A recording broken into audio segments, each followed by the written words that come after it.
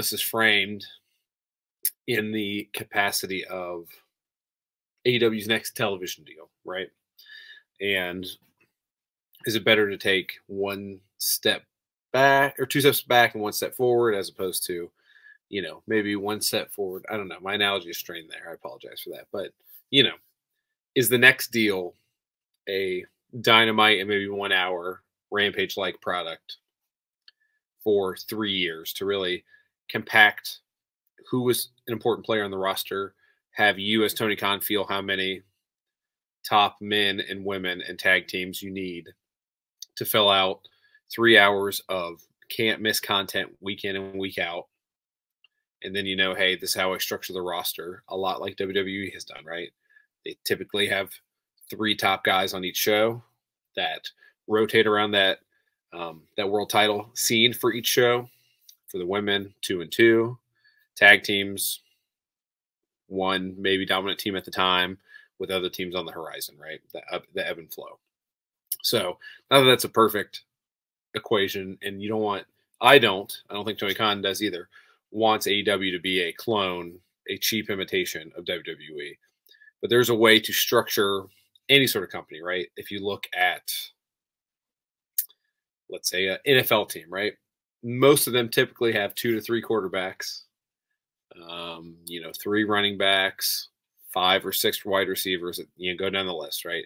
The rosters are constructed of similar types of players per position, right? You have seven offensive linemen that dress in a game because five play at any given time. If one gets hurt, you need one that can go in and play guard and tackle, one that can play guard and center if that guy gets hurt, right? So there are things that you can mimic and you can have a completely different style of gameplay. You can be a heavy run based team, you can be a spread passing team, right?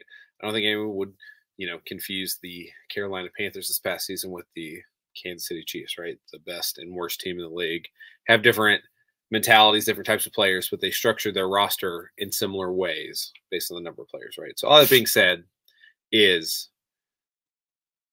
a three, let's say three hours a week plus eight pay per views a year if we're if we're in that zone for the next let's say 25 26 and 27 the calendar years that is. If that's your structure you know what you need and then if you do want to expand to that additional show in 28 let's say i'm just doing a random three year tv deal here maybe it's five whatever but you know then what you need to make another successful show and you need that first show dynamite to be so chucked full of good talent that people are complaining that talent doesn't have time to get on the show independent of the way you book things, right? So the reason I bring all this up is again, Fightful. I want to give them the shout out. Um, they've got all the ratings for Collision since its debut, but I just want to start um, for calendar year 2024. And, uh, you know, so we're just going to run down shows, not tell you the dates, but there have been, I don't know, 12 or 13 or so. 402,000, 400,000, 441, 300, 404, 491, 385, 455, 427 on the 9th of March. Um, I don't know if it might be out like just as I'm recording here. I don't know if Saturday's number has come out um, as of yet, but I'm going to assume it's in the low fours, high threes.